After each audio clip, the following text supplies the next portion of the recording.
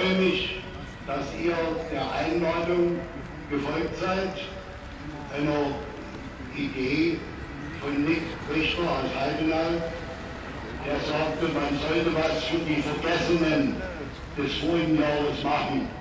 Nun, wir haben es gemacht. Ich freue mich, dass ihr da seid. Und begrüße ganz herzlich unseren Jugendchef von Deutschland über 20 Jahre. Jetzt sagt er ehemalig, ja. Aber bitte Lutz, herzlich willkommen.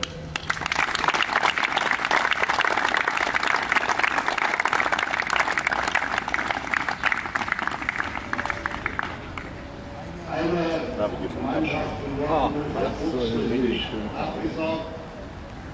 Die hat mir das Anliegen, als fünfte Spielerin eine Spielerin einzusetzen. Ist nach unseren Öffnungen und unserem neuen Jugendchef nicht möglich. So, und wir müssen also die neuen Mannschaften heute sehen. Und äh, wir wollen nicht bloß sehen, sondern wir wollen ordentliche Auswahlspiele sehen.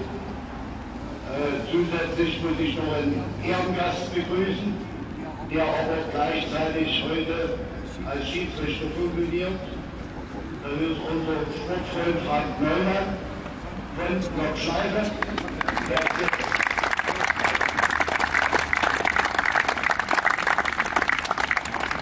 Er ist seit kurzem Mitglied des Präsidiums des Sächsischen Umverbandes für das Gegensportarten. Damit haben wir in Sachsen mehr Gewicht bekommen. So, nun übergebe ich zur Begrüßung und Eröffnung an Günter Lutz.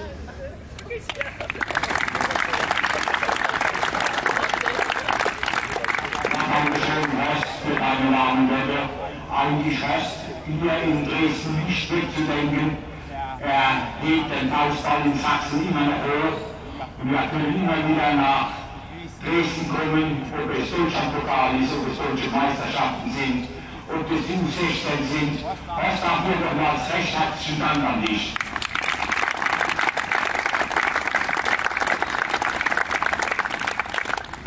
So bedanken darf ich mich auch beim SSV Heidenau, der hier diese deutsche Meisterschaft der U19 organisiert hat. Auch meinen herzlichen Dank an Heidenau.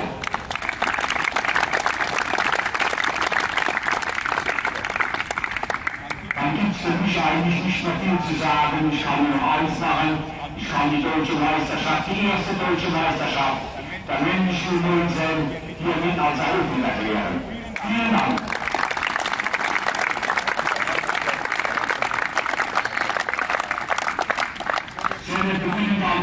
Pünktlich um 10.30 Uhr.